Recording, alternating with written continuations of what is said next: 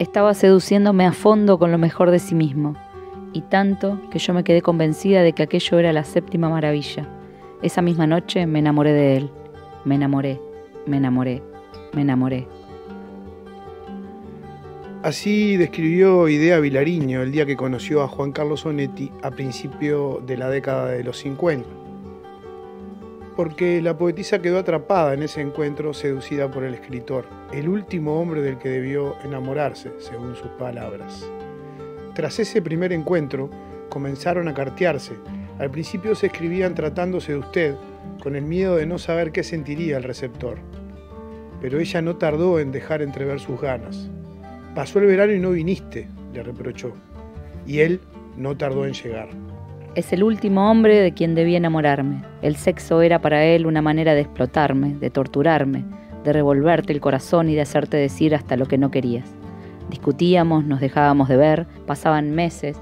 Yo comenzaba otra relación y cuando estaba en lo mejor llamaba a Onetti y se iba todo al demonio. Una noche me llamó desesperado para que fuera a verlo. Yo estaba con alguien que me amaba y lo dejé. Y recuerdo que lo único que hicimos fue ponernos de espalda, leyendo un libro, él y yo otro. A la mañana siguiente le agarré la cara y le dije, sos un burro, Neti, sos un perro, sos una bestia. Y me fui. Idea era hija de un poeta anarquista, escritora y eximia profesora de literatura y además poeta multipremiada. Fue una de las poetisas que formó parte de la generación del 45 de uno de los grupos de intelectuales de esa Latinoamérica en efervescencia. Idea fue una mujer furiosamente enamorada que se dejó de alguna manera encandilar por Onetti, un hombre escéptico y gruñón y 11 años mayor que ella. Vilariño y Onetti se recordaban por las noches y se olvidaban durante el día, y así por años. Ella pensaba que él no la quería, él, pese a todos los poemas, pensaba que el amor de ella era solo intelectual. Se quisieron y se odiaron en partes iguales, rompieron y se reconciliaron muchas veces. Les dio igual estar casados, con pareja y en países distintos. Les dio igual no ser felices, aunque el delirio duró poco. El escritor dejó a Idea Vilariño por Dorotea Moore y luego se casó con ella.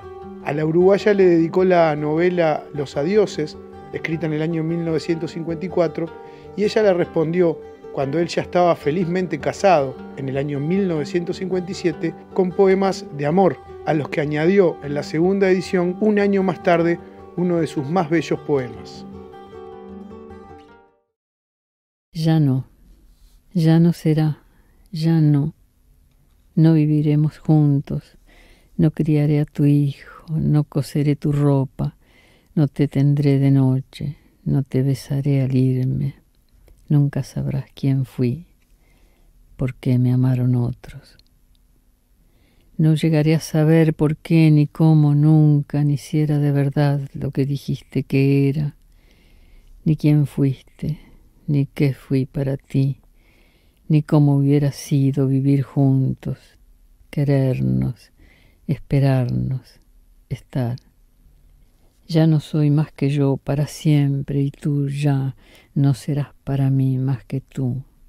Ya no estás en un día futuro, no sabré dónde vives, con quién, ni si te acuerdas. No me abrazarás nunca como esa noche, nunca.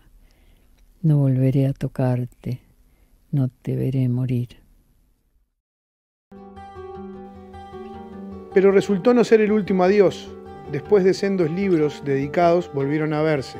Como imanes se buscaban y se embestían, hasta que terminaron por destruirse en 1961, concretamente el día que el Che Guevara estaba de visita en Uruguay.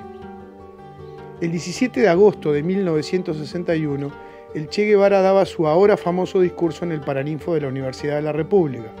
Al finalizar el acto, el profesor de historia Arbelio Ramírez fue asesinado cuando grupos anticubanos locales, presumiblemente apoyados por comandos extranjeros, cometieron este atentado que hasta el día de hoy permanece sin aclarar. Ese día, Vilariño y Onetti estaban juntos cuando ella recibió una llamada. Ella era profesora de un liceo y acababan de asesinar a uno de sus compañeros, justamente Arbelio Ramírez. La voz del otro lado del teléfono le pedía idea que acudiera rápido a una asamblea. Si te vas, no me encontrarás a tu regreso, le dijo Onetti. No me vas a encontrar, insistió. Ella, pensando que era uno de sus enfados, que se le pasaría, se fue. Volvió rápido a su casa después de la reunión, pero allí ya no había nadie. Cuando abrí la puerta sentí como si me golpearan en el pecho. Había dejado una nota insultándome y diciéndome un montón de barbaridades, y mis poemas, unos poemas de amor que le había dado, estaban arrugados y tirados a los pies de la cama. Así es como se sintió Idea, según confesó luego en una entrevista que concedió a los periodistas María Esther Gilio y Carlos María Domínguez para una biografía sobre Onetti titulada Construcción de la Noche. Recién volvieron a verse el 15 de marzo de 1974. Onetti estaba en el hospital acompañado por su esposa Dorotea Moore. Era la misma que Idea había tenido que soportar que un año después de su boda le dedicase a su marido un poemario. Idea entró en la habitación y Dorotea los dejó solos. Pensaban que Onetti se moría. Me levanté y quise tocarlo, tocar su mejilla con la mía. Apenas me acerqué a él cuando me agarró con un vigor desesperado y me besó con el beso más grande, más tremendo que me hayan dado, que me vayan a dar nunca. Y apenas comenzó su beso, sollozó.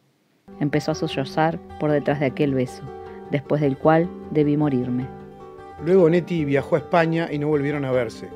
A ella le preguntaron siempre por él y a él siempre por ella. Los dos aseguraron hasta el último día de sus vidas quererse, pero no sentirse queridos. Ayúdanos a crecer. Y si te gustó este informe, por favor no olvides suscribirte, darle me gusta al video, compartir el enlace y dejar tus comentarios. Un abrazo y gracias por estar aquí.